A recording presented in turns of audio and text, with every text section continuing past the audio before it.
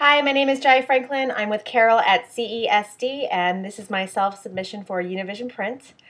Uh, there were no notes about what you wanted from me, so um, I guess this is just hello. All right, thank you so much. Bye.